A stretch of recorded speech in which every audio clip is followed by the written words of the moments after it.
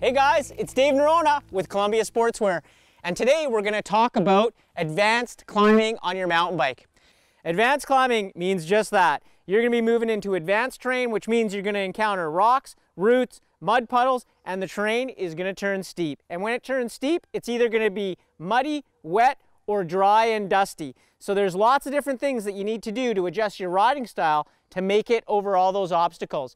The number one thing is you need to have a good pedal stroke. What I aim for is somewhere in the middle so it's nice and easy. If you're pedaling too much and bouncing on your saddle, you're going to be just doing that, bouncing all over the trail. If it's too hard, you're going to run out of energy before you even make it to the obstacle. So one of my secrets is when the trail's easy, I go easy. When the trail's hard, that's when I give it a little bit of extra gusto to get over or around that obstacle.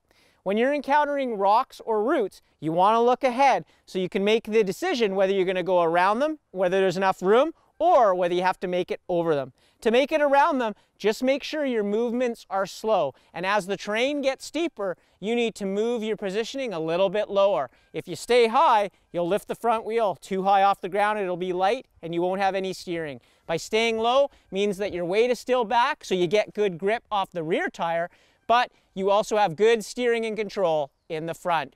When you want to go up and over an obstacle, you need to actually build a little bit of momentum. So look for the great sticky ground. And when you're going to go up over that root, just like you were going to go you were going to go over a curb on the roadway, you use the front wheel, make it light, lift it up over that root, and then as you pedal over, shift your weight a little bit forward.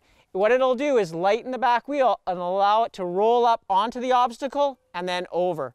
And one last thing to remember, don't spin too much when you get on that obstacle. If it's a wet log, you're just gonna spin out and fall over.